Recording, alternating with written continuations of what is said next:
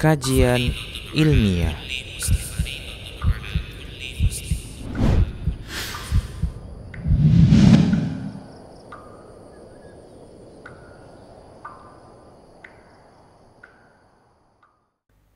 Bismillah, Assalamualaikum warahmatullahi wabarakatuh. Innal hamdalillah nahmaduhu wa nasta'inuhu wa nastaghfiruh ونعوذ بالله من شرور أنفسنا ومن سيئات أعمالنا. من يهده الله فلا مضل له ومن يضلله فلا هادي له. وأشهد أن لا إله إلا الله وحده لا شريك له. وأشهد أن محمدا عبده ورسوله صلى الله عليه وسلم. قال الله تبارك وتعالى يا أيها الذين آمنوا اتقوا الله حق تقاته ولا تموتن إلا وأنتم مسلمون. يا أيها الناس اتقوا ربكم الذي خلقكم من نفس واحدة وخلق منها زوجها وبث منهما رجالا كثيرا ونساء. واتقوا الله الذي تساءلون به والأرحام إن الله كان عليكم رقيبا. يا أيها الذين آمنوا اتقوا الله وقولوا قولا سديدا. يصلح لكم أعمالكم ويغفر لكم ذنوبكم. ومن يطع الله ورسوله فقد فاز فوزا عظيما أما بعد.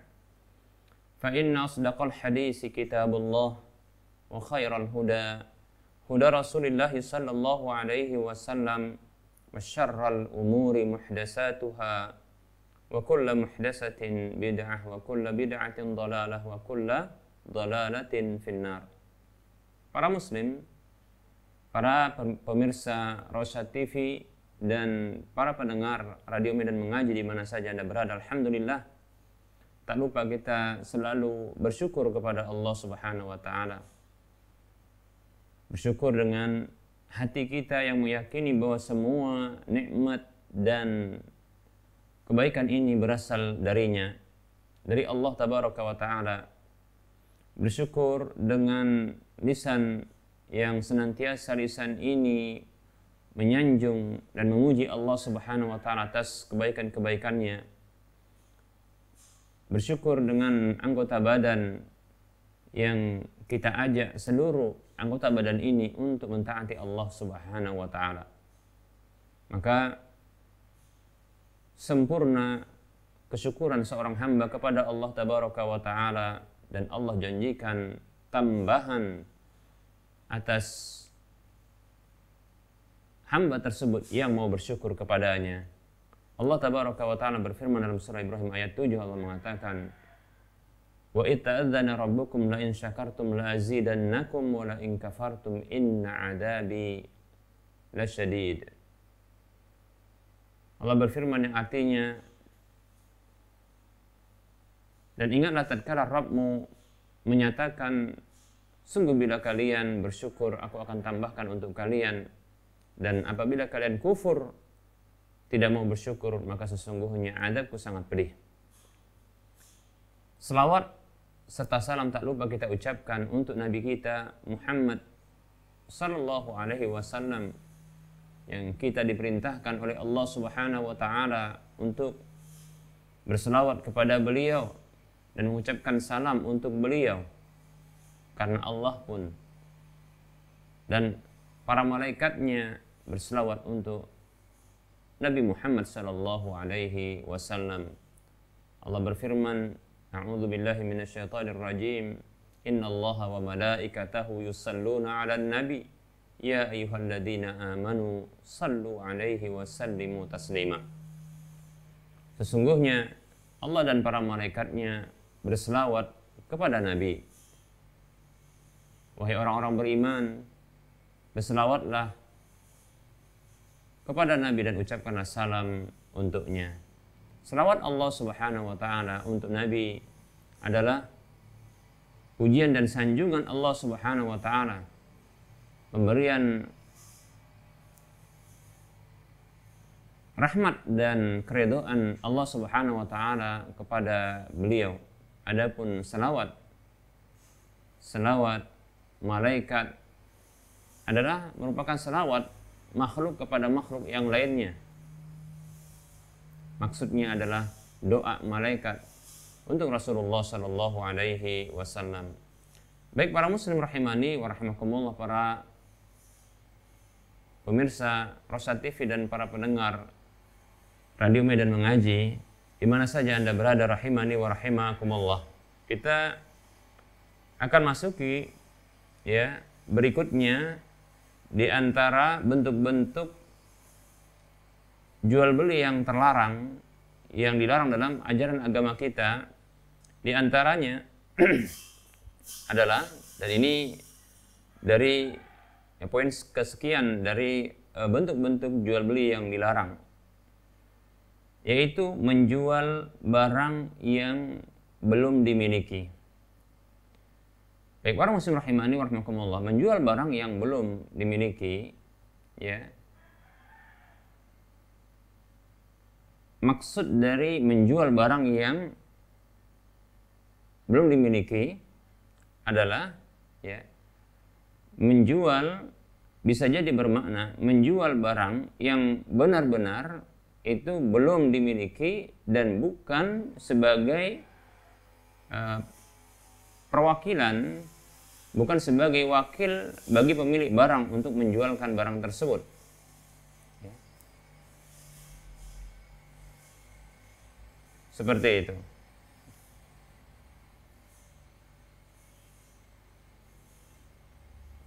ada hadis yang datang tentang masalah ini yaitu hadis yang kita sebutkan satu redaksi di antara beberapa redaksi atau lafadz hadis yang menyebutkan tentang larangan jual beli seperti ini dan saya sebutkan yang paling uh, saya anggap ini lengkap. Ini hadis dikeluarkan oleh Imam uh, Tirmizi di dalam kitab sunannya dengan nomor urut hadis 1232 hadisnya adalah hadis dari Hakim Ibnu Hizam radhiyallahu anhu. Yang mengatakan ataitu Rasulullah sallallahu alaihi wasallam faqultu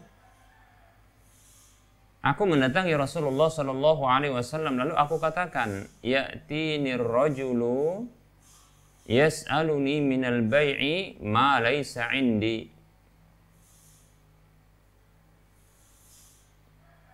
Jadi Hakim Ibnu Hizam datang untuk bertanya kepada Nabi Shallallahu Alaihi Wasallam, ada seseorang yang datang kepadaku memintaku dari jual beli sesuatu yang aku yang tidak ada di sisiku, yaitu barang, ya, barang yang akan dijual belikan itu tidak dimiliki ya oleh Hakim Ibn Hizam. Lalu ada orang yang dia datang untuk meminta penjual belian ya atau meminta dijual belikan barang tersebut.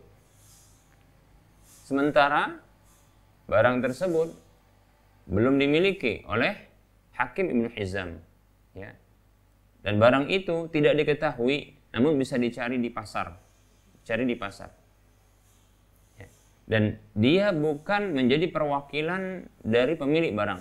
Demikian abta'u lahu minas suqi summa abi'uhu bolehkah aku membeli untuknya ya dari pasar kemudian aku menjualnya demikian maksudnya di sini adalah ya terjadi terlebih dahulu akad yang mengikat ya menjualkan barang ya yang sesungguhnya belum dimiliki kemudian nanti dia nanti sahabat ini akan membeli dari pasar, kemudian baru menyerahkan kepadanya. Demikian, seperti itu. Qala maka Rasulullah Shallallahu Alaihi Wasallam bersabda, la tabi' ma laisa indaka. Ya, kata Nabi Shallallahu Alaihi Wasallam, jangan engkau jual barang yang tidak ada di sisimu. Ya, barang yang tidak ada di sisimu. Demikian hadisnya sahih diriwayatkan oleh Imam Tirmidzi disahkan oleh Syekh Al-Albani rahimahullahu taala. Baik para muslim rahimani wa rahimakumullah. Jual beli seperti ini terlarang para muslim rahimani wa rahimakumullah ya bukanlah maksudnya adalah ya jual beli dari barang-barang uh, yang tidak dimiliki namun menjadi perwakilan ya bagi uh, pemiliknya untuk dijualkan kepada orang lain. Yang ini sudah kita sebutkan pada waktu yang lalu adalah bentuk jual beli ya keagenan samsaroh di mana ya penjual tersebut dia mewakili dari sang pemilik barang untuk menjualkan barang tersebut ya demikian ya maka yang seperti ini tentunya dibeda, uh, berbeda, berbeda pula hukumnya demikian. Ya. Walaupun dia tidak memiliki barang dan barang itu adalah bukan miliknya, ya, lalu dia pun me menjualnya demikian. Ya. Hanya saja dia menjadi perwakilan bagi sang pemilik barang, maka ini disebut dengan akad keagenan, ya. Dia menjadi uh, agen atau menjadi uh, maklar ya, bagi pemilik barang untuk menjualkannya. Demikian para muslim rahimani wa rahimakumullah. Ya.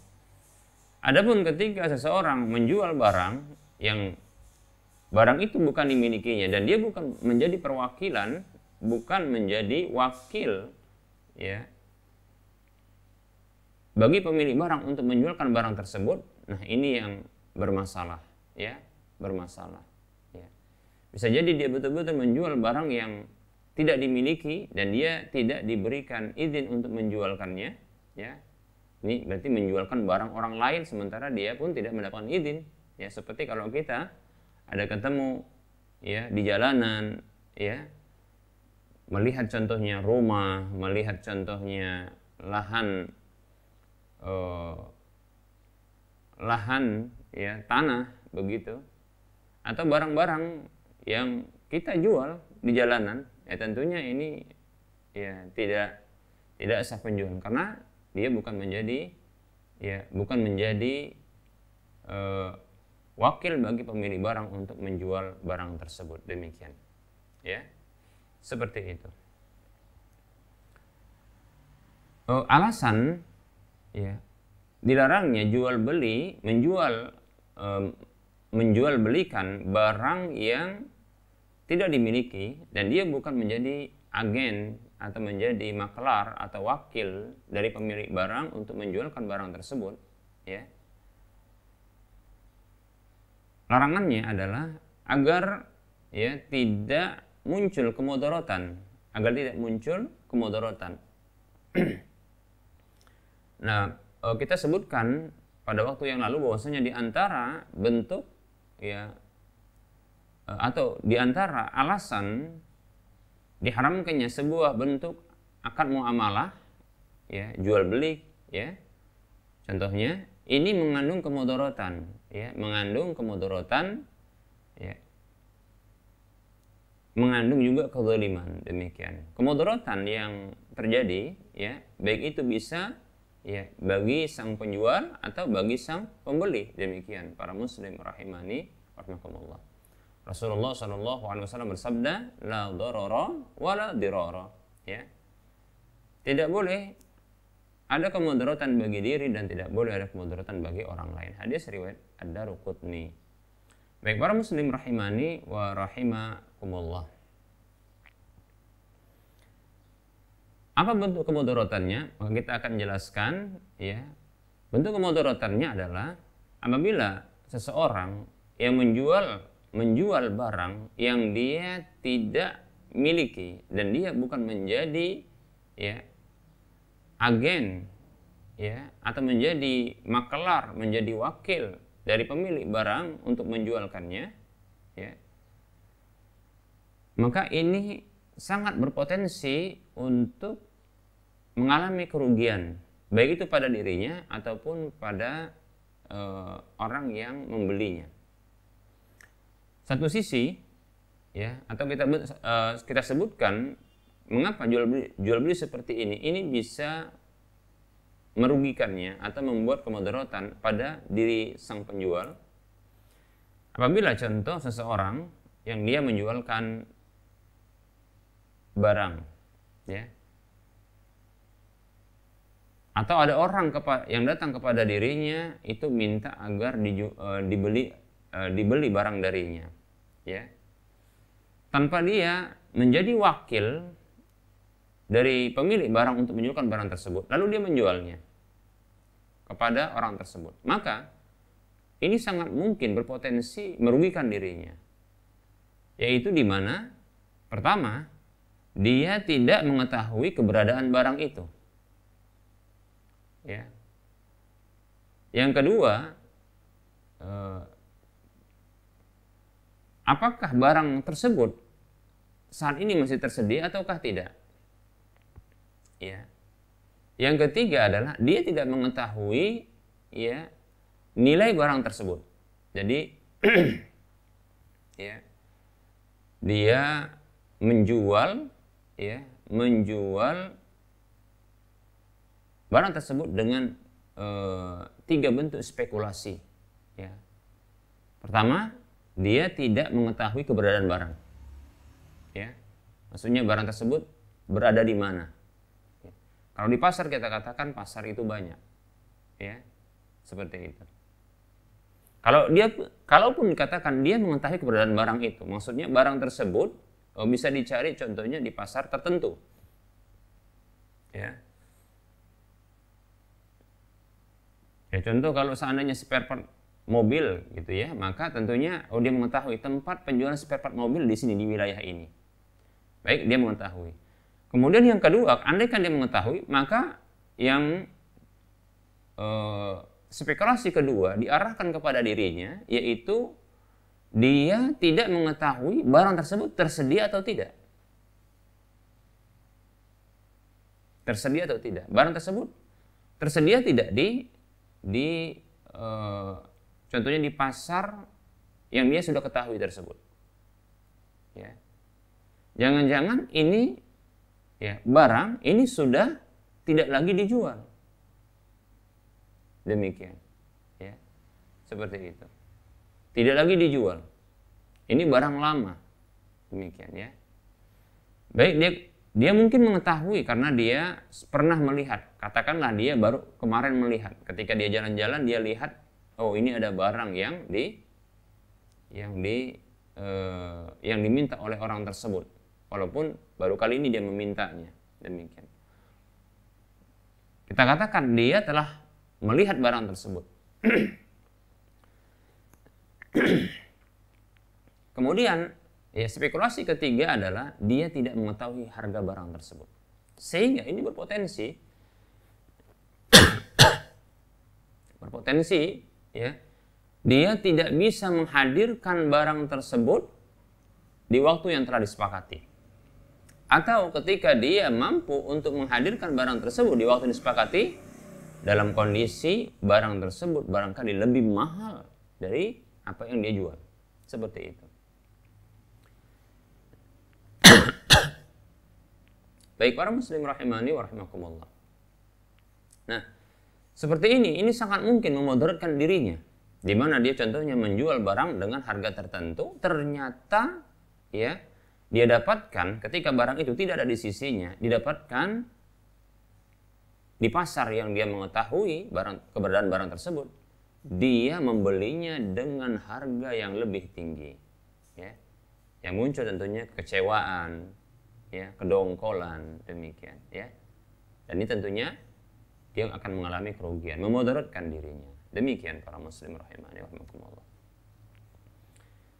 dan ini juga bisa berpeluang ya untuk memudaratkan bagi para bagi bagi pembelinya demikian contohnya ketika seorang pembeli dia datang kepada seorang penjual untuk ya me, membeli barang dari seorang yang menjual barang tersebut atau e, menjual yang bisa menjual barang tersebut. Dia tanya, padahal barang tersebut tidak dimiliki oleh sang penjual. Jadi ini masalahnya adalah masalah sang sang penjual karena sang penjual dia tidak memiliki barang tersebut.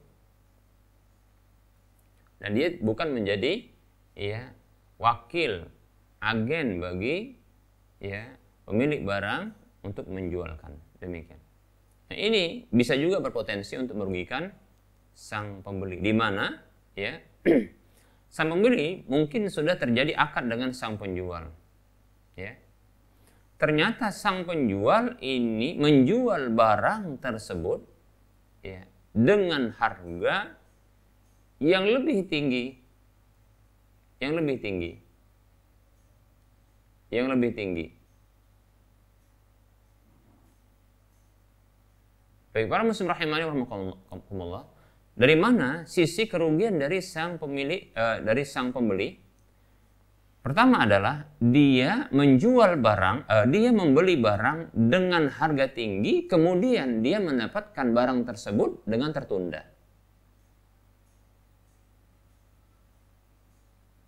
Ya, dengan tertunda. Ya, tentunya uang telah diserahkan terlebih dahulu kepada ya kepada uh, sang pembeli demikian. Baik para muslim rahimani warahmatullah. Ini mirip dengan jual beli salam. Insya Allah akan kita bahas ya jual beli salam. Ya. Hanya saja jual beli salam itu adalah ya menjual belikan satu barang ya dalam bentuk ya penyebutan sifatnya ya penyebutan sifatnya yang akan dihadirkan oleh sang penjual tersebut di waktu yang telah disepakati dengan harga tertentu dan dibayar dengan kontan. Nah, seperti itu. Perbedaannya jual beli salam dengan ya jual beli yang terlarang ini, sementara jual beli salam ini adalah dia bentuk kekhususan ya, dispensasi dikecualikan oleh Nabi SAW untuk dibolehkan. Ya. Jual beli salam ini, ini waktunya begitu panjang. Ya. Ini disebut dengan jual beli salam muajjal, ya waktunya begitu panjang. Adapun jual beli barang yang belum dimiliki dan dia bukan merupakan wakil dari pemilik barang untuk menjualkan, ini waktunya begitu pendek ya. Waktunya begitu pendek. Sehingga sangat berpotensi ya ini terjadi kerugian ya pada salah satu dari pelaku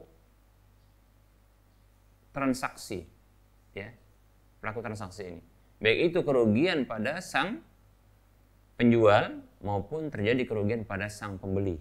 Demikian pada sang penjual tadi kita katakan dia tidak mengetahui harga pasar sudah dia tidak mengetahui ya keberadaan barang tersebut dan dia tidak mengetahui ketersediaan barang tersebut.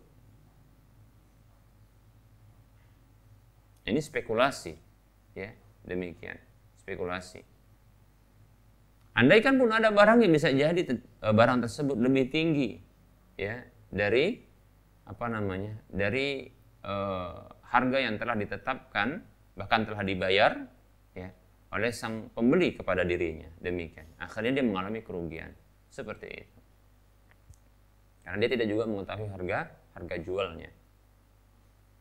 Harga pasarnya. Begitu juga bisa juga ini ya kerugian dialami oleh sang pembeli di mana dia mendapatkan ya barang tersebut dengan tertunda barang tersebut tidak langsung didapatkan dan didapatkan dengan harga tertinggi. Yang sesungguhnya kalau dia langsung contohnya terjun, dia langsung contohnya mencari barang tersebut di pasar, ya, dia bisa jadi mendapatkan barang tersebut, ya, dengan harga yang lebih murah dan langsung kontan di tangannya, seperti itu, ya, sehingga dia tidak menyesal, sehingga dia tidak, ya, eh, apa namanya, tidak mengalami kerugian, ya, tidak termudaratkan oleh bentuk jual beli seperti ini. Yang ini memicu munculnya apa?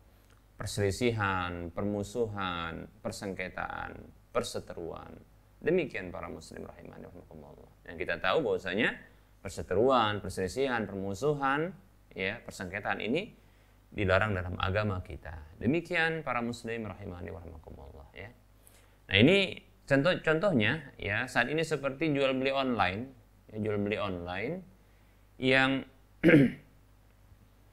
dia ketika membuka lapak ya penjualan secara online ini ya dia hanya mencuplik beberapa gambar ya yang beredar gambar-gambar dari barang-barang yang dijual tanpa dia mengkonfirmasi terlebih dahulu ya keberadaan barang tersebut, harga barang tersebut. Demikian, ya. Keberadaan barang tersebut, kemudian ketersediaan barang tersebut dan harga barang tersebut. Lalu dia jual. Ya. Lalu mengikat harganya. Seperti itu. Yang seperti ini tentunya apa? terlarang. Lalu bagaimana caranya kalau seandainya bagaimana caranya supaya menjadi boleh ya jual beli seperti ini ya jual beli online seperti ini maka sebaiknya ya eh, jangan dilakukan terlebih dahulu penjualan. Bila dia contohnya ya eh, telah mencuplik gambar-gambar dari barang-barang yang akan dijualnya. Contoh apabila ada calon pembeli secara online ya dia menentukan barang yang ingin dibelinya. Demikian. Maka hendaknya penjual online seperti ini yang dia belum ya, yang dia belum e, mengkonfirmasi, maka hendaknya ketika ada e, pemesanan seperti ini, maka hendaknya jangan terlebih dahulu dia dia me, menjualnya dengan menentukan harga lalu harga tersebut mengikat. Ya, sebaiknya adalah menangguhkan beberapa saat lalu Sang penjual ini mencoba untuk mencari tahu keberadaan barang, ya, ketersediaan barang, demikian pula ya harga barang. Demikian, ya. Kepada sang pemiliknya. Ya. Seperti itu. Ya. Jadi e, menunda terlebih dahulu penyelesaian akad.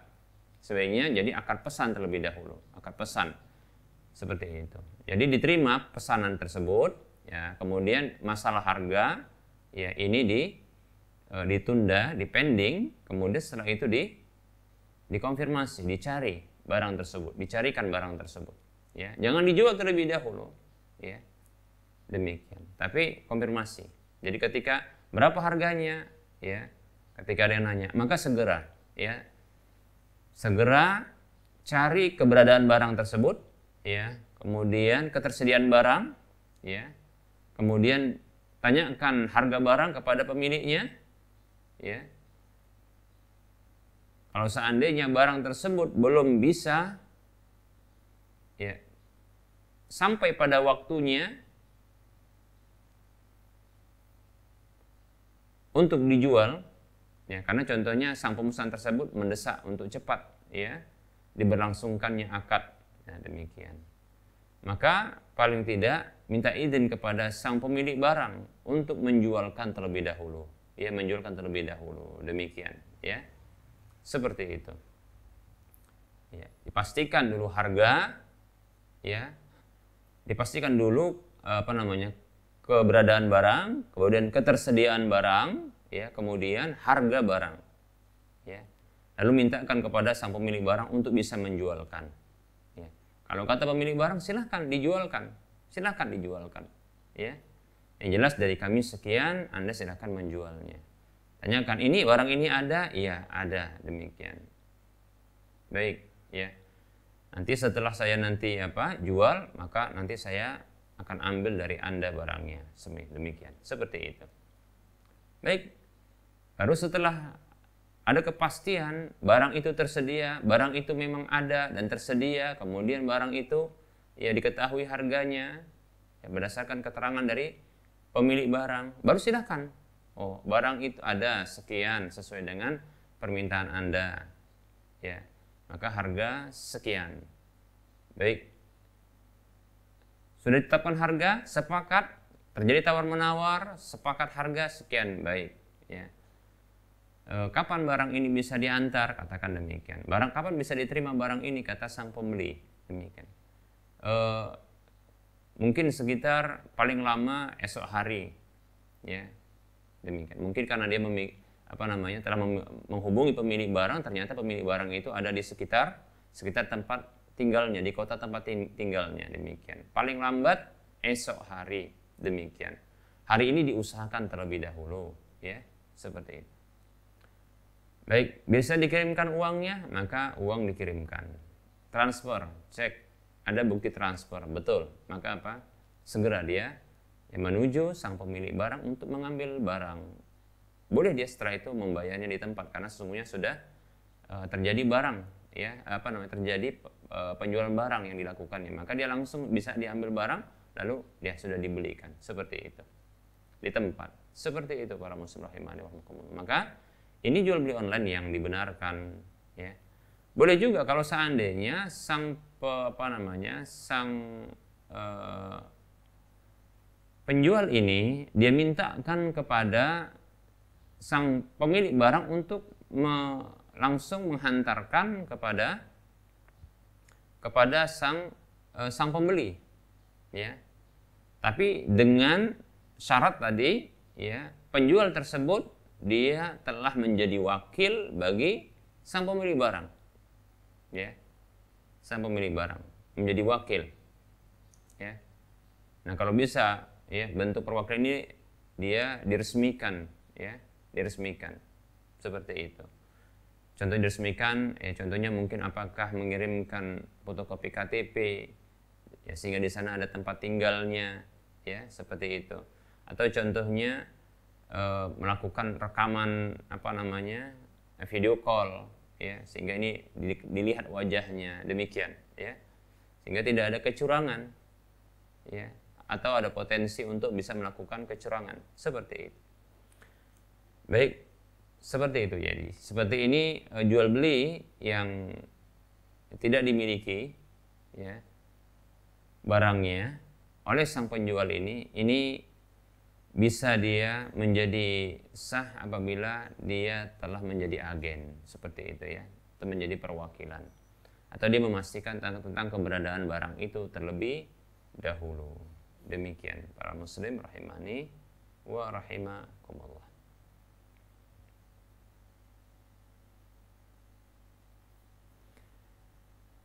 Baik itu uh, larangan jual beli ya barang yang belum dimiliki dan dia belum menjadi ya uh, wakil bagi pemilik barang untuk menjualkan barang tersebut. Berikutnya para muslim rahimani warahmatullah kita akan sebutkan ya jual beli terlarang berikutnya adalah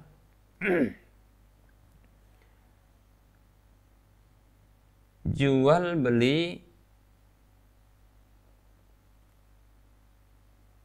buah-buahan sebelum layak petiknya. Jual beli ya buah-buahan sebelum layak petiknya. Belum tampak dia layak petik dan sudah dijual. Kalau dalam istilah uh, Jawa, ya ini disebut dengan jual beli ijon, ya yaitu maksudnya buahnya itu masih hijau. Ya masih hijau yang belum dia layak petik. Demikian. Ya, ini dilarang. Berdasarkan hadis dari Anas bin Malik radhiyallahu anhu dari Nabi sallallahu alaihi wasallam annahu naha an bai'i samrati hatta yabdu salahuha wa nin nakhli hatta yazhuwa qila wa ma yazhu qala yahmaru aw yasfaru Hadis ini hadis yang sahih disahkan oleh Imam Bukhari. Ya tentunya adalah hadis yang sahih ya uh, diriwayatkan oleh Imam Bukhari dalam kitab sahihnya. Dari Anas bin Malik radhiyallahu anhu dari Nabi sallallahu alaihi wasallam bahwasanya beliau melarang jual beli buah sampai tampak layak petiknya. Dan dari ya dan melarang juga jual beli ya kurma ya pada pohonnya sampai dia yazhu ya. Lalu ada yang bertanya apa maksud yazhu ya Rasulullah ya? Maka Rasulullah mengatakan yahmaru atau yasfaru. Yazhu maksudnya adalah ya buah itu memerah atau dia menguning demikian. Ya kita tahu bahwasanya ya e, buah yang mengalami perubahan pada warna ini menjadi merah atau kuning ini menunjukkan ya uh, dia telah layak petik ya. Artinya telah mendekati masa atau sudah masak demikian. Kalau merah biasanya adalah uh, masak atau dia kuning ini akan masak ya. Ini mengkal kalau bahasa kita demikian. Seperti itu. Ya maka ini sudah layak petik ya. Ini layak petik sehingga boleh untuk dijual belikan demikian pula ada hadis yang lain ya. Ada hadis yang lain dari Anas juga Anas bin Malik radhiyallahu anhu yang ini menunjukkan alasan. Hadis ini menunjukkan larangan ya. Sekaligus alasan dari larangan menjual barang eh, menjual buah ya. Ya hasil bumi yang dia belum layak petik dari Anas bin Malik radhiyallahu anhu anna Rasulullah sallallahu alaihi wasallam naha an bai'is simari hatta tazhiya.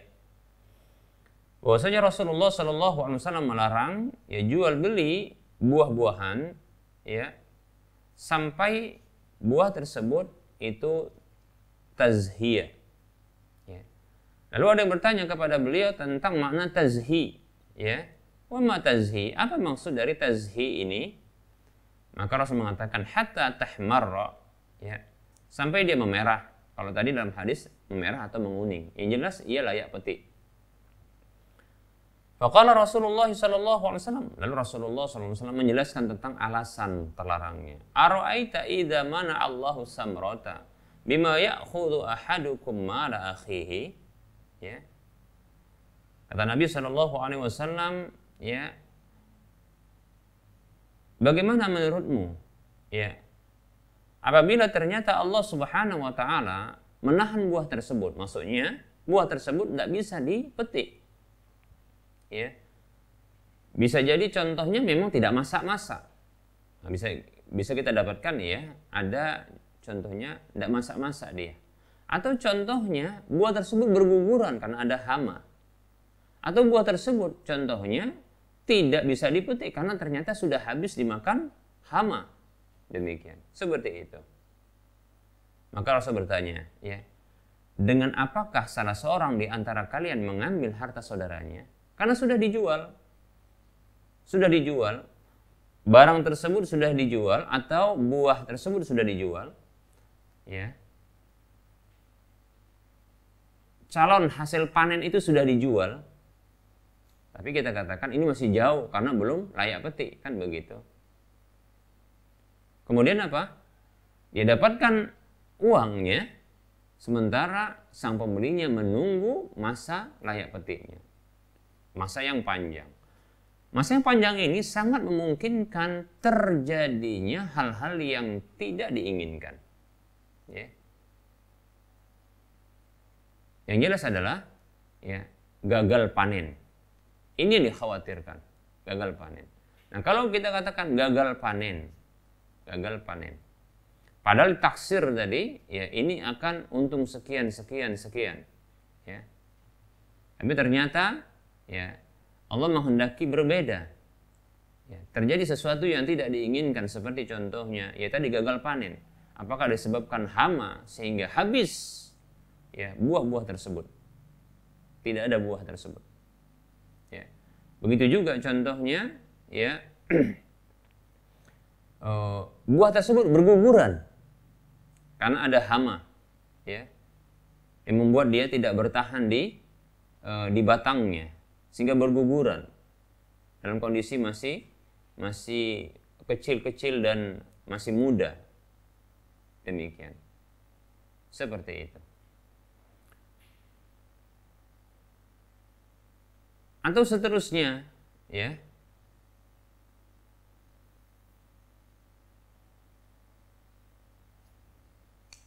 ya uh, yang membuat ya sang pembeli ini mengalami kerugian seperti itu. Kita katakan pun kalau seandainya, contohnya seandainya, ya, ternyata tidak gagal panen. Kalau kita katakan ini merupakan hadis tadi, hadis yang terakhir tadi dikeluarkan oleh Imam Bukhari dan Muslim serta Imam Nasai kita katakan bahwasanya tadi yang kita katakan ini adalah kerugian yang terjadi bagi sang e, pembeli. Pada umumnya demikian. Ya. Namun sangat juga berpotensi ya itu terjadi kerugian bagi sang penjual.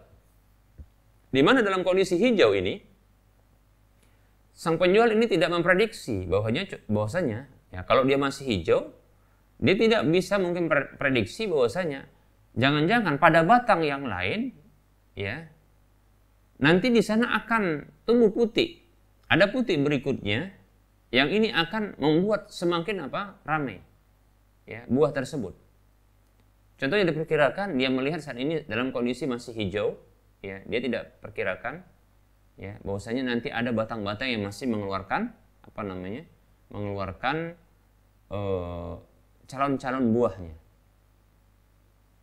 tangkai atau batang. Dia tidak memperkirakan. Maka dijual dengan harga sekian. Ya, masih hijau. Ternyata ya, ketika mendekati panen atau ternyata ketika mendekati masa panen, ya, ternyata dia dapatkan apa? Batang-batang yang tadinya ini tidak mengeluarkan tangkai, itu mengeluarkan tangkai. Ya, bahkan lebih lebat demikian. Sehingga ternyata sang penjual dia mendapatkan keuntungan bisa jadi tiga kali lebih lipat dari prediksi. Demikian. Seperti itu. Maka karena dia membeli dalam satu musim ini, katakan begitu, musim buah ini, akhirnya dia menguasai semua buah. Ya. Yang tadinya belum muncul pun akhirnya ketika dia panen sekali, didapatkan panen dua kali sampai tiga kali. Mungkin dia kebiasaan dia ketika dia menjual si penjual ini ya, dia hanya e, mendapatkan ya pohon-pohonnya ini menghasilkan sekali panen saja. Tapi ternyata ketika masa seperti ini menghasilkan sampai tiga kali ya panen. Karena ada dahan-dahan yang menyusul ya memunculkan buahnya. Seperti itu. Baik para muslim rahimani wa demikian. Akhirnya dia pun menyesal ya. Dia pun seperti mengalami kerugian. Demikian para muslim rahimani warahmatullah ya. Tapi yang sangat rentan adalah sang sang pembeli. Demikian. Seperti yang disabdakan Nabi SAW ya. Kalau ternyata gagal panen siapa? Ya eh, dengan apa? Ya penjual itu dia mengambil harta sang pembeli itu karena sang pembeli ternyata tidak mendapatkan apa pun ya karena gagal panen seperti itu para muslim rahimani wa rahimakumullah. Ini termasuk jual beli yang berpotensi ya. Uh, ini juga termasuk jual beli gharar, jual beli gharar, jual beli yang tidak jelas ya. Karena dia berpotensi untuk memunculkan ya penyesalan, perselisihan, permusuhan ya. Kemudian uh, pertikaian, perseteruan. Demikian para muslim rahimani wa rahimakumullah. Baik. Uh, ada pendapat dari pendapatnya Imam Malik rahimahullahu taala ya. Jual beli buah-buahan atau pertanian, perkebunan ya. Hasil kebun atau hasil pertanian ya atau buah-buahan ini boleh dalam kondisi dia belum ya masa belum masa masih hijau ya. Boleh untuk dijual dengan syarat kata beliau adalah bisyaril qat'i. Bisyartil bisyartil qat'i kita ulangi bisyartil qat'i dengan syarat kata beliau adalah ya dipanen langsung. Di apa namanya e, dipanen. Ya dipanen langsung. Diambil langsung buahnya seperti itu. Ya. dan ini insya Allah taala pendapat ini pendapat yang tidak menyalahi dalil. Mengapa? Karena yang jelas buah tersebut itu masih bisa dimanfaatkan ya. Namun kalau seandainya ditunggu ya. Mengapa ini dilarang jual beli uh, buah-buahan ya hasil perkebunan atau hasil pertanian ini dilarang? Dalam kondisi belum dia tampak layak petiknya belum masak. Karena ada jeda yang begitu panjang antara kondisi ya belum masa ini sampai nanti masa ini kondisi yang panjang ya. Uh, masa yang panjang rentan rentang waktu yang panjang yang dia rentan untuk gagal panen. Seperti itu adapun ya dan ini yang dipahami ini menunjukkan fikihnya Imam Malik yang luar biasa ya. Imam Malik memandang bahwasanya jika buah tersebut ketika dia belum masak tapi dia hendak dijual maka dipersyaratkan untuk dipetik. Dipetik ya dalam waktu yang dekat. Yang ini bisa dimanfaatkan. Ya tentunya adalah buah-buahan yang dia bisa bermanfaat dipetik di waktu masih muda. Apa contohnya? Ya kita katakan ya di Indonesia ini ada ya alhamdulillah Indonesia ini wilayah tropis yang masya Allah ya begitu banyaknya ya ciptaan Allah yang hijau-hijau ya buah-buahan ya kemudian pepohonan ya pertanian dan perkebunan yang luar biasa kita katakan ya yang ternyata ini terkadang bisa dimanfaatkan buah atau hasil panen e, pertanian atau perkebunan ini ini masih bisa dimanfaatkan atau bisa dimanfaatkan dalam kondisi masih muda. Ya. Tidak sampai masa. Contohnya adalah buah-buah yang sebahagian dikonsumsi itu dalam kondisi masih muda. Ya. Seperti untuk buat rujak ya. yang kita tahu rujak ini ya rata-rata adalah buah yang masih muda. Dia bukan buah yang masak buah yang masih muda demikian. Begitu juga ada contohnya seperti ya ada buah-buah yang ketika masih muda bisa dikonsumsi, begitu juga ketika masak bisa dikonsumsi. Contohnya apa? Pepaya. Pepaya. Pepaya ketika masih muda bisa di dikonsumsi. Contohnya adalah dibuat sayur. Ya, sayur.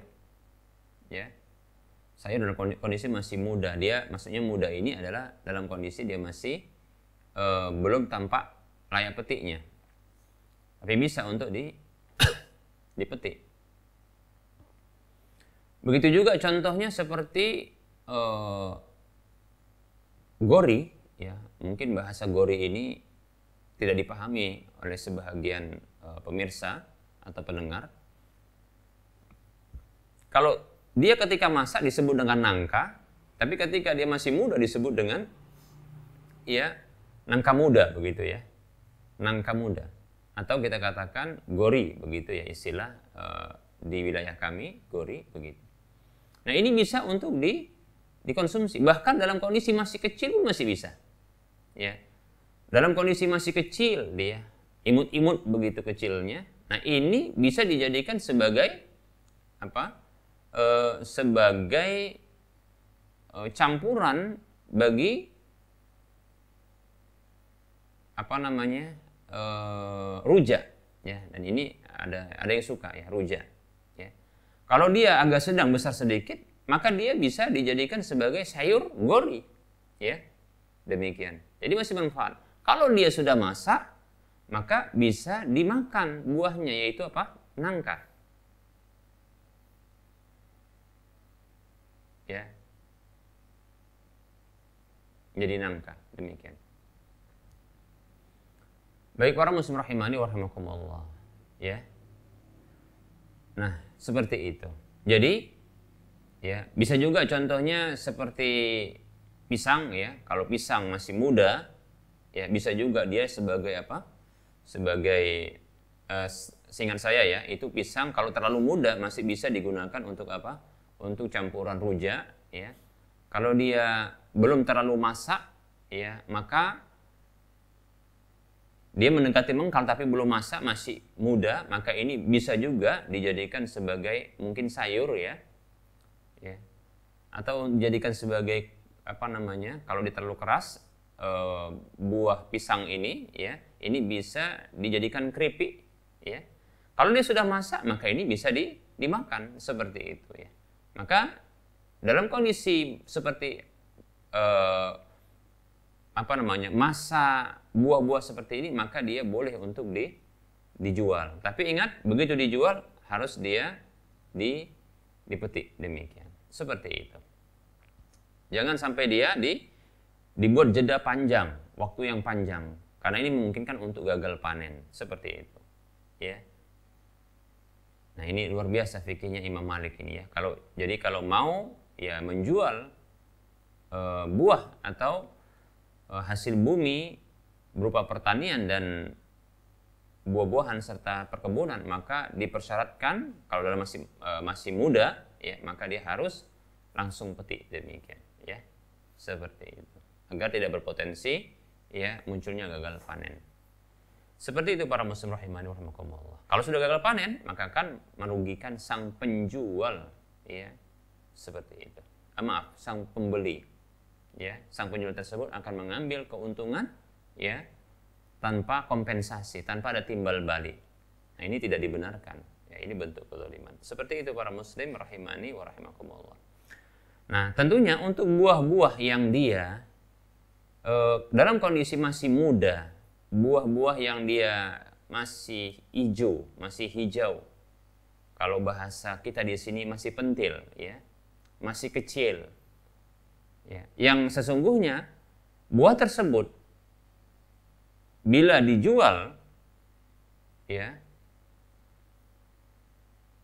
kemudian dalam kondisi seperti itu tidak bisa dimanfaatkan dan harus menunggu sampai layak petiknya maka di sini dilarang untuk dijual belikan. Ya. nanti dipetik. Nah, kalau nanti dipetik ini maka nantinya kalau jaraknya panjang maka tidak boleh. Apa contohnya? Seperti contohnya adalah ini se sepengetahuan saya ya. Seperti contohnya durian ya. Durian kalau masih muda ini tidak dimanfaatkan tidak ada manfaatnya. Masih muda ya. Seperti itu. Maka kalau contohnya ada satu pohon durian, ya, dilihat begitu lebat.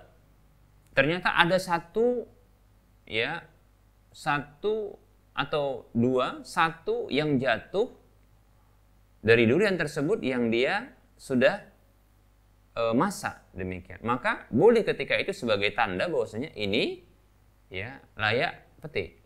Maka boleh ya dijual ketika itu. Ya tentunya ini bagi para uh, pedagang durian ini mengetahui yang memperkirakan bahwasanya durian tersebut ya durian tersebut ini uh, dengan uh, perkiraan sekian ya sekian buah pada satu pohon ini maka dia boleh untuk menjualnya. Seperti itu. Wallahu taala alam. Baik nah ini pembahasan ya. Jual beli hasil bumi yaitu hasil perkebunan ataupun pertanian dan buah-buahan ya yang belum tampak layak petiknya. Maka di sini dilarang dalam agama kita ya dilarang untuk dijual belikan ya. Karena ini sangat berpotensi untuk memunculkan kerugian ya yang sangat berpotensi besar adalah itu pada sang pembelinya. Demikian para muslim walaupun ini bisa juga ya di dialami kerugian walaupun kecil potensi apa peluangnya oleh sang penjualnya. Seperti itu ya. Baik, para muslim rahimani warahmatullah tentunya ini ya akan bisa memicu munculnya perseteruan perselisihan persengketaan dan seterusnya baik kita cukupkan untuk materi pembahasan uh, kita kali ini ya. Kita masuki sesi soal jawab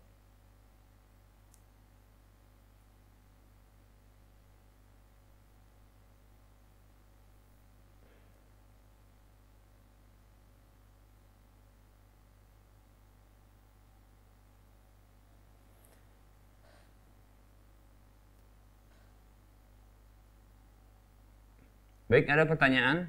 Saya coba untuk memahami dulu uh, pertanyaan ini ya. Kita baca. Ustadz, bagaimana hukum membayar zakat fitri pada kasus seperti ini? Saya berdomisili di Aceh, kuliah di Medan, tapi setahun terakhir sedang penelitian di Bandung. Apakah zakat fitri tersebut dibayar di Bandung atau tidak apa-apa kalau yang bayar di Aceh itu orang tua yang membayar di Aceh? Soalnya teman saya nanyain dalilnya. Ya, dia bingung karena orang tuanya berpemahaman harus dibayar di Bandung. Kalau puasanya eh, kalau di kalau dibayar di Bandung maka puasanya nggak akan diterima seperti itu. Jazakallahu khairan wa ya. Baik ini artinya kasus eh, saya pahami begini, apakah ya apakah ya boleh zakat itu dibayarkan keluar wilayah. Nah, ini ini sebenarnya masalahnya ini ya. Dari pertanyaan yang begitu saya kira termasuk panjang ya. Ini sesungguhnya pertanyaannya simple masalahnya simple yaitu apa? Boleh tidak ya e, kalau bahasa naklu memindahkan pembayaran zakat itu keluar wilayah orang tersebut orang yang e, mau dibayarkan zakat itu demikian ya. Para ulama memang berbeda pendapat dalam masalah ini, ya, berbeda pendapat dalam masalah ini. Ya, ada yang berpendapat bahwasanya tidak boleh ya membayar zakat ya itu didistribusikan zakat tersebut keluar wilayahnya. Berdasarkan hadis ya, tu'khadhu min aghniyaihim wa turaddu ala fuqaraihim. Ya. Yaitu di diambil dari orang-orang kaya mereka dan dikembalikan, dibayarkan, diserahkan, didistribusikan kepada orang-orang fakir mereka. Artinya di wilayah tersebut. Nah, begitu. Adapun pendapat yang lain mengatakan boleh jika ini ya dibutuhkan. Jadi bukan merupakan syarat sahnya. Tapi dari sisi kebolehan. Pendapat ini menyatakan, setahu saya pendapat ini mengatakan bahwasanya, iya betul betul afdol, bukan merupakan syarat membayar zakat itu harus di wilayah, ya. Tapi ke, sisi keafdolan, ya. Hadis yang mengatakan tu'khadhu min aghniyaihim diambil zakat itu dari orang kaya mereka wa turaddu ala fuqaraihim dan dibayarkan kepada orang fakir mereka yang di wilayah tersebut. Ini adalah anjuran ini keafdolan kalau bisa demikian ya. ya. Seperti itu. Keafdolan. Tapi boleh untuk dibayarkan sampai ya didistribusikan sampai keluar wilayah mereka demikian. Ya. Baik, saya condong kepada pendapat yang kedua ini boleh ya, boleh. Bukan merupakan syarat. Boleh. Bahkan bisa jadi ya adalah dari sisi keafdolan Bahkan bisa jadi ini adalah afdol dari sisi e, di mana tidak ditemukan orang-orang fakir di wilayahnya. Atau sedikitnya orang fakir yang membutuhkan ya di wilayahnya. Sementara ada di luar wilayahnya, di wilayah yang lain, di luar wilayahnya yang ini lebih membutuhkan dan lebih banyak. Nah, seperti itu. Ini satu sisi yang menyatakan bisa jadi lebih afdal kalau dibayarkan keluar wilayah.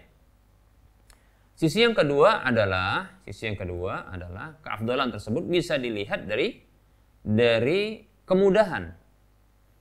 Contohnya, ya betul bahwasanya seseorang tersebut ya ini domisili aslinya adalah contohnya di satu wilayah, katakan tadi Aceh, begitu ya.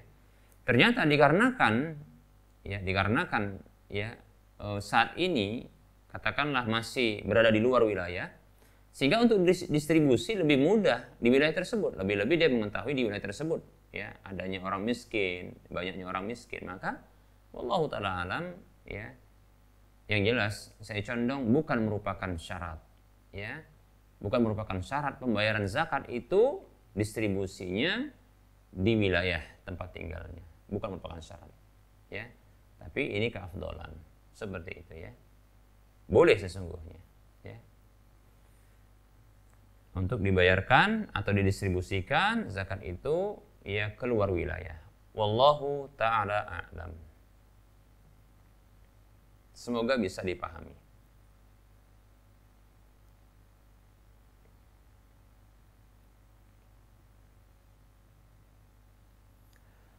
Assalamualaikum Waalaikumsalam warahmatullahi wabarakatuh Ustadz Afwan, Ana mau bertanya Boleh tidak kita membayar zakat dari beras bantuan yang berasal dari saudara? Nah ini pertanyaan yang berulang ini sebenarnya kepada saya Walaupun ya ini eh, apa namanya baru kali ini ya mungkin secara apa namanya uh, lewat televisi seperti ini live ya lewat televisi. Baik ya. Waalaikumsalam warahmatullahi wabarakatuh. Tentunya uh, bahan makanan pokok berupa beras ini yang diberikan saudara kita kepada kita karena dia ingin membantu kita sebagai bantuan dirinya kepada kita. Ini kan sudah beralih kepemilikannya kepada kita, kan begitu. Ini sudah masuk hiyazah ya. Hiyazatul milk yaitu apa wilayah wewenang kepemilikannya. Oleh karenanya untuk tasarruf ya bil mal yaitu untuk kewenangan dia mengarahkan harta tersebut yaitu beras itu itu kembali kepada dirinya ya.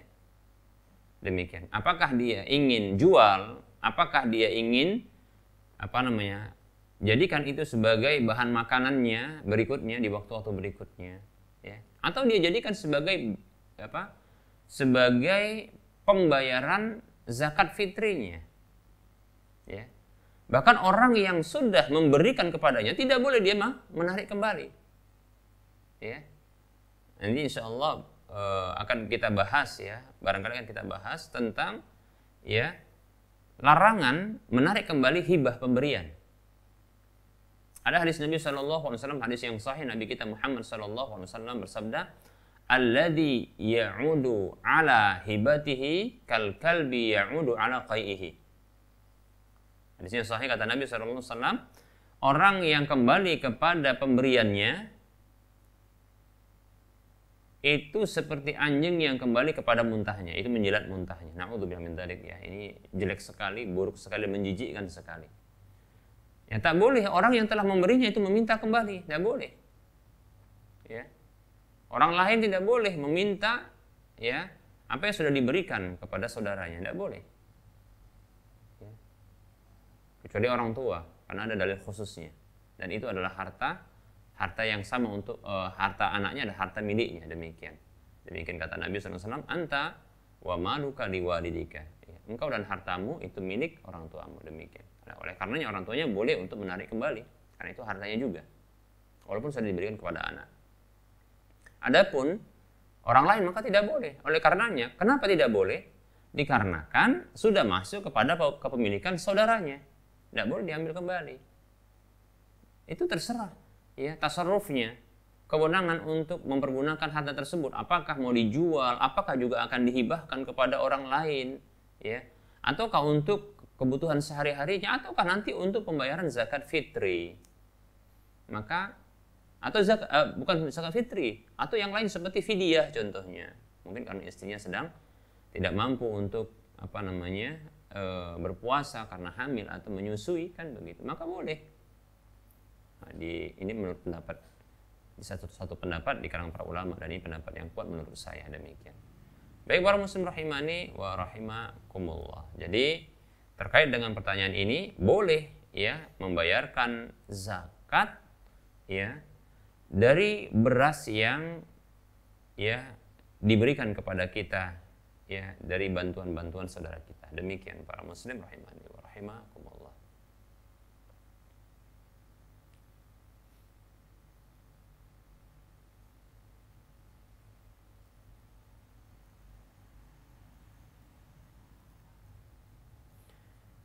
Baik, bismillah Ustaz, bagaimana lafal takbir Idul Fitri, Idul Adha yang sahih ya? Dan waktunya dari kapan sampai kapan kita disunahkan bertakbir Ustaz? Baik, lafat takbir yang sahih, maksudnya yang da, yang ada riwayatnya begitu ya, ya.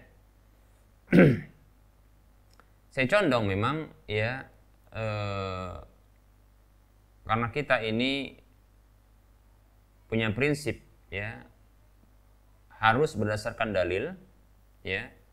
Maka saya juga motivasi diri saya sendiri ya untuk senantiasa ya menyandarkan sesuatu itu kepada dalil. Ya baik itu dalam perkataan, perbuatan maupun keyakinan demikian. Imam uh, Bukhari menyebutkan di dalam kitab sahihnya al-ilmu qabla al-qawli wal amali yang berilmu terlebih dahulu sebelum berkata dan bertindak demikian. Baik, uh, apa lafat dari takbir Baik, akan saya sebutkan ini yang sampai kepada saya riwayat-riwayatnya ya. Lafaz takbir sebenarnya tidak ada satu hadis pun yang sampai kepada Nabi SAW yang sahih. Maksudnya yang sahih dari Nabi SAW bahwasanya beliau disebutkan pernah menyebutkan takbir tertentu. Tidak ada hadis ya yang sampai kepada kita seperti ini ya ya jadi apa namanya e, tidak didapatkan satu hadis atau riwayat yang menyebutkan lafat takbir Nabi demikian dan demikian. Itu sudah disebutkan. Yang sahih ya yang sahih. Demikian. Hanya saja ada hadis riwayat yang sahih disebut dengan asar. Riwayat dari sahabat. Ya contohnya seperti adalah takbir yang ini sahih dari Abdullah bin Mas'ud radhiyallahu anhu. Annahu kana yaqulu bahwasanya beliau pernah membaca ketika takbir dengan seperti ini. Allahu akbar Allahu akbar. Penyebutan dua kali. Ya tasniyah penyebutan dua kali. Allahu akbar Allahu akbar. La ilaha illallah wallahu akbar. Allahu Akbar walillahil hamd. Nah, begitu. Allahu Akbar, Allahu Akbar. Dua. La ilaha illallah wallahu akbar. Allahu akbar walillahil hamd. Nah, asar dari Ibnu Mas'ud tentang takbir Id ya ini diriwayatkan oleh Imam Ibnu Abi Syaibah dalam musannafnya dengan sanad yang sahih. Ada juga eh, riwayat dari Abdullah Ibnu Abbas radhiyallahu anhuma ya.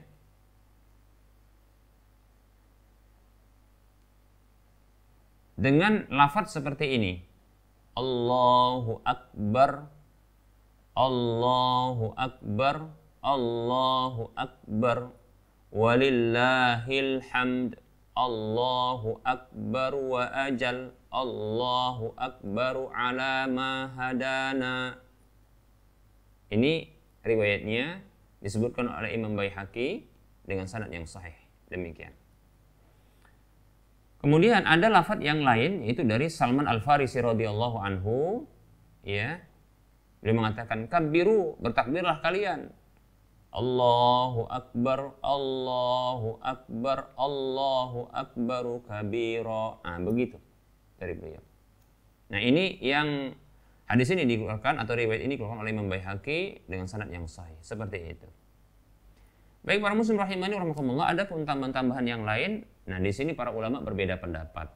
Ya, boleh tidak menambah dari lafaz-lafaz yang ada ini. Jadi saat ini yang sering yang sering kita lakukan dengan lafaz Allahu Akbar Allahu Akbar La ilaha illallah wallahu akbar Allahu akbar walillahil hamd. Ini adalah lafaz Abdullah bin Mas'ud. Ya, seperti itu. Ada menyebutkan dengan tiga kali Allahu Akbar Allahu Akbar Allahu Akbar. Tiga kali takbirnya. Baru setelahnya sampai selesai. Ya, ada yang dua kali. Yang saya condong dua kali saja berdasarkan riwayat. Ya. Kemudian apakah boleh menambah seperti contohnya Allahu akbar Allahu akbar Allahu akbar La ilaha illallah wallahu akbar. Allahu akbar walillahil hamd. Allahu akbar kabira walhamdulillahi katsira. Wa subhanallahi bukratan wa asila. Dan seterusnya apakah boleh? Wallahu taala alam terjadi perbedaan pendapat di kalangan para ulama. Ya. Saya pribadi ya. Saya condong berlapang dada dalam masalah ini berlapang dada dalam masalah ini demikian ya saya condong untuk berlapang dada dalam masalah ini untuk pribadi saya, saya condong memilih yang ada riwayatnya. Yang sering saya sebutkan adalah riwayat Ibnu Mas'ud ini. Dengan bentuk dua tasnih. Allahu Akbar, Allahu Akbar. La ilaha illallah wallahu akbar, Allahu akbar walillahil hamd. Begitu. Dan itu diulang terus, diulang terus. Ini takbir. Ya. Demikian. Baik, para muslim rahimani wa rahimakumullah. Ya. Nah, uh,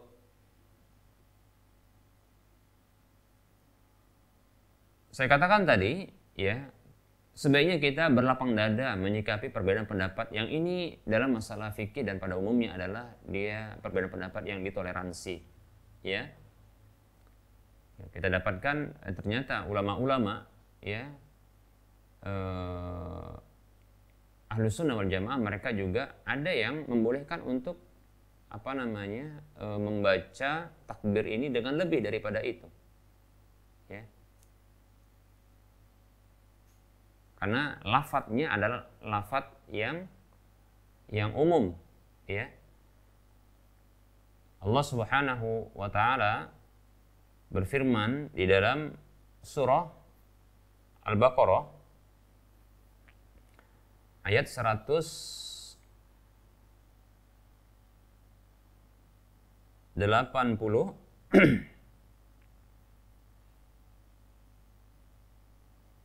185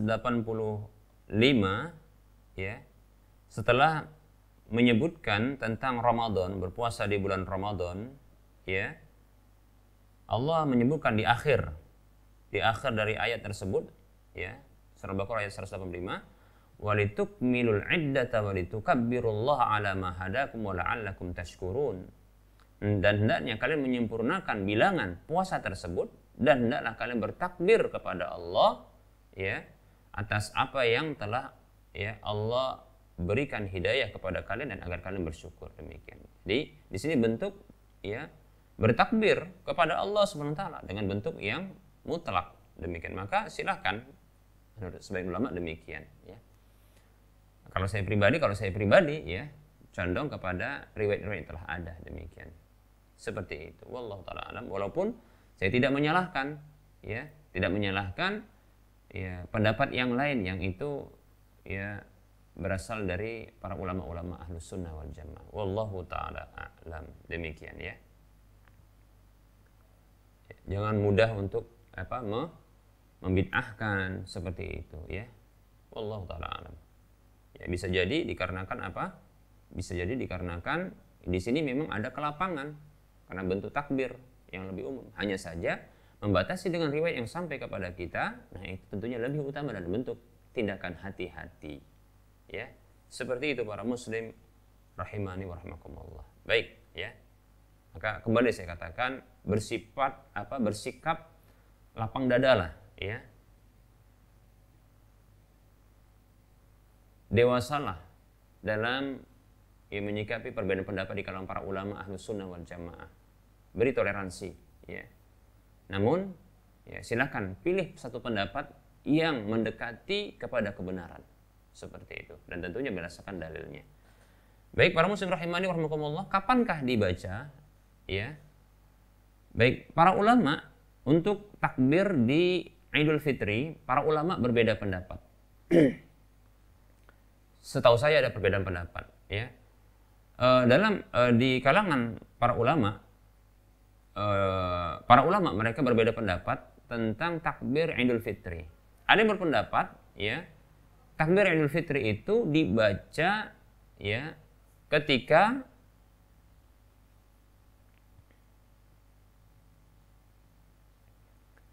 keluar dari rumah hendak menuju lapangan. Artinya di hari uh, di pagi hari di hari Idul Fitri. Demikian ya.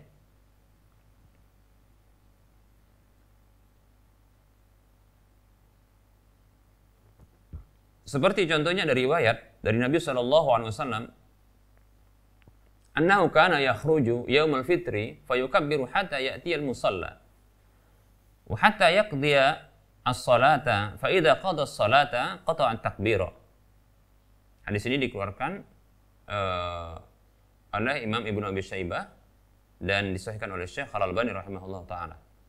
Bahwa Nabi Shallallahu alaihi wasallam itu keluar di hari raya Idul Fitri lalu beliau bertakbir ya sampai ke tempat sholat dan sampai beliau menyelesaikan sholat. Nah apabila beliau selesai menyelesaikan sholat maka beliau menghentikan takbir seperti itu.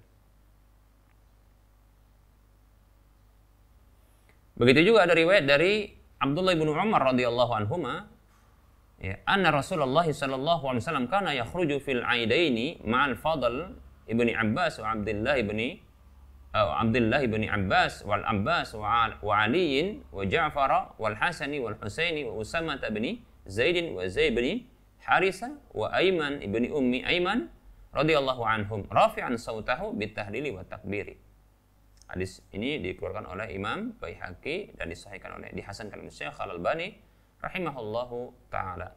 Demikian.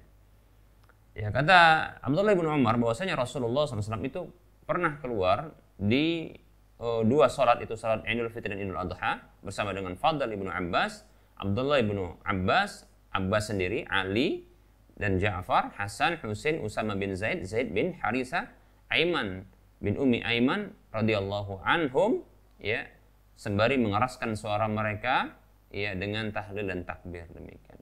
Hadisnya Hasan riwayat Baihaqi. Seperti itu. Ini pendapat yang pertama. Pendapat yang kedua mengatakan bahwasanya eh, takbir untuk Idul Fitri ya itu bisa dimulai ketika tenggelamnya matahari. Tenggelamnya matahari di Ramadan terakhir. Ya seperti itu. Berdasarkan firman Allah Subhanahu wa taala ya walituk walitukmilul iddata walitukabbirullaha ala ma hadakum wa la'allakum tashkurun. Dalam surah Al-Baqarah ayat 185 tadi kita sebutkan. Dan hendaklah kalian menyempurnakan bilangan. Dan hendaklah kalian bertakbir kepada Allah atas hidayah. Apa yang Allah hidayahkan kepada kalian dan agar kalian bersyukur. Demikian. Allah di sini memerintahkan untuk menyempurnakan bilangan puasa lalu uh, dan setelah itu juga dan bertakbir. Sehingga begitu sempurna bilangan puasa tenggelam matahari masuk ketika itu malam Id Idul Fitri maka ketika itu ya bertakbir nah, seperti itu. Baik juga saya condong kepada ya uh, penjelasan bahwasanya ini terjadi perbedaan pendapat di kalangan para ulama, maka berlapang dadalah dalam masalah ini. Silakan memilih apa? Salah satu dari pendapat ini. Demikian ya. Bagi yang ber, berpegang dengan pendapat para ulama harus berdasarkan apa yang datang dari Nabi SAW yaitu apa? Uh, di waktu pagi hari ketika hendak berangkat menuju Idul Fitri, maka takbirlah ketika itu maka silakan ber, ber, berpendapat dengan pendapat ini. Kalau bagi yang berpendapat bolehnya ya untuk bertakbir ketika tenggelamnya ya matahari di Ramadan terakhir, maka ya, ketika itu silakan lakukan dan jangan saling menyalahkan ya jangan saling menyatakan dirinya paling benar ya jangan pula saling menjatuhkan apalagi sampai ya memfonis ya bid'ah saudaranya. Demikian. Ini permasalahan yang lapang, lapang, yang menuntut adanya kelapangan dada. Demikian. Ya, seperti itu para muslim. Rahimani wa rahimakumullah. Ya. Adapun untuk takbir Idul Adha, ya, untuk takbir Idul Adha,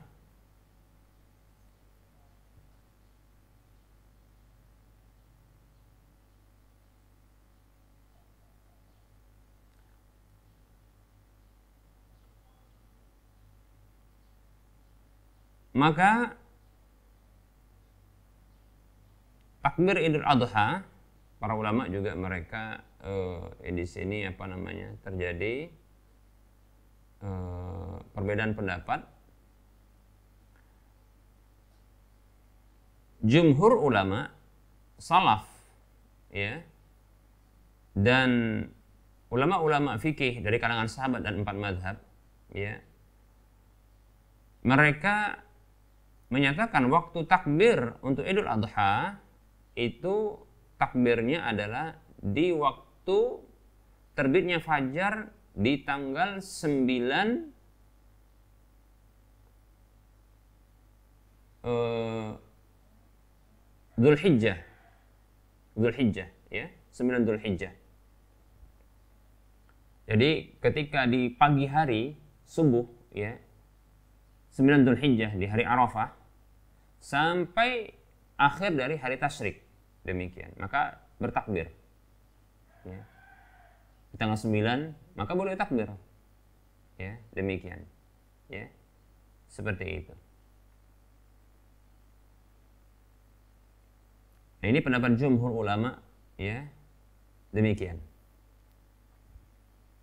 Dan takbirnya ini ini boleh bertakbir ya eh, kapan saja. Ya kapan saja. Asalkan jangan di tempat-tempat yang terlarang. Tempat-tempat yang e, buruk. Seperti contohnya WC ya. Demikian. Maka bertakbir dan tidak boleh mengkhususkan waktu takbir itu hanya satu saja. Tapi hendaknya bertakbir contohnya di jalanan ketika di jalan ketika contohnya di rumah ketika contohnya ya e, berada di atas kendaraan, sedang duduk, ya demikian. Atau setelah sholat maka dibolehkan demikian.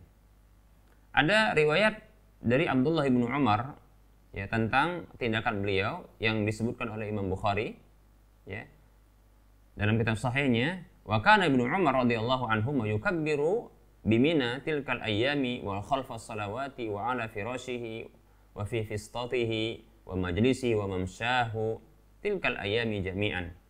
Ya. Dahulu Abdullah bin Umar radhiyallahu anhu itu bertakbir di Mina ya, di hari-hari tersebut ya. Dan bertakbir setelah sholat ya. Bertakbir di tempat di atas tempat tidur, bertakbir juga di tempat kemahnya ya di tempat e, ketika duduknya, ketika berjalannya demikian di hari-hari itu semuanya. Lihat ya. Nah, di sini dia. Ya, takbirnya demikian. Waktu-waktunya seperti itu, jangan dikhususkan ya. Baik. Adapun untuk waktu takbir Idul Fitri tadi kita katakan terjadi perbedaan pendapat juga. Ini juga terjadi perbedaan pendapat ya. Untuk takbir Idul Adha, mulai tadi kita katakan ini pendapat jumhur ulama itu adalah dari pagi hari subuh itu ya di tanggal 9 uh, Hijjah sampai tanggal ya 13 Hijjah ya 9 sampai 13 ya. Hari tasyrik yang terakhir demikian ya. Tenggelam matahari maka sudah tidak takbir lagi. Demikian ya. Seperti itu ada pendapat yang lain mengatakan bahwasanya takbirnya seperti ketika keluar juga ya ada pendapat yang lain keluar ketika menuju sholat id seperti itu ya. Nah, waktunya adalah berikutnya sampai juga hari tasyrik berikutnya.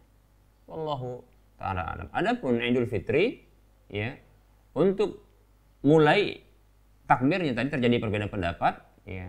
Ada yang memulai setelah ya tenggelamnya matahari di Ramadan terakhir ya. Ada yang mengatakan ya itu ketika keluar menuju sholat id. Adapun batasannya adalah ya yaitu sholat. Sholat idnya itu batasannya sepakat para ulama. Wallahu taala alam. Demikian.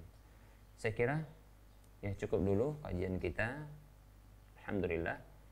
Barangkali ini adalah uh, silsilah ya atau rangkaian dari kajian online bersama saya. Ini yang terakhir ya insya Allah di bulan Ramadan ini ya. Insya Allah insya Allah barangkali kita akan lanjutkan setelah Ramadan berakhir ya. Insya Allah di Syawal ya. Tidak ada kajian online mungkin di Ramadan ini setelah ini di bulan Ramadan ya. Demi karena sudah mendekati waktu uh, Idul Fitri dan insya Allah kita akan lanjutkan setelah Idul Fitri insya Allah taala tentunya dalam kajian-kajian ini terdapat Eh, kesalahan, kekurangan, kekeliruan kepada Allah saya mohon ampun dan kepada para pemirsa sekalian, para pendengar sekalian saya mohon maaf. Dan saya tutup wasallallahu ala Muhammad wa ala alihi wa ashabihi ajma'in subhanakallahumma wa bihamdika asyhadu an la ilaha illa anta astaghfiruka wa atubu ilaika walhamdulillahi rabbil alamin. Assalamualaikum warahmatullahi wabarakatuh.